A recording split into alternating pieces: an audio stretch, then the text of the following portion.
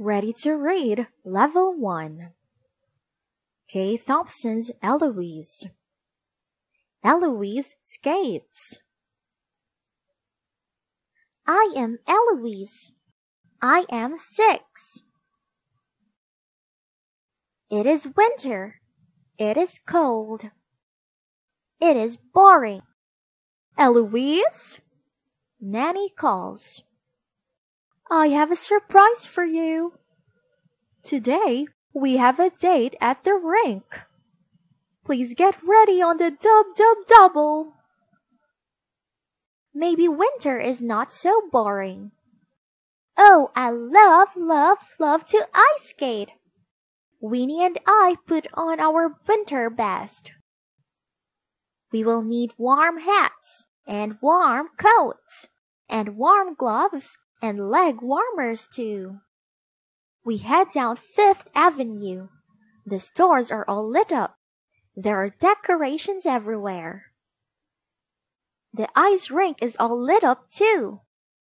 There are lights on the trees and on the flags along the rink.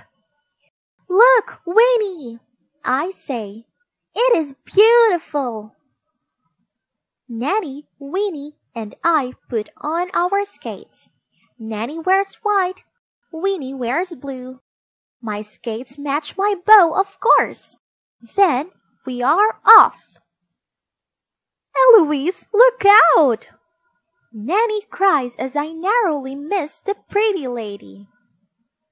Eloise, watch out!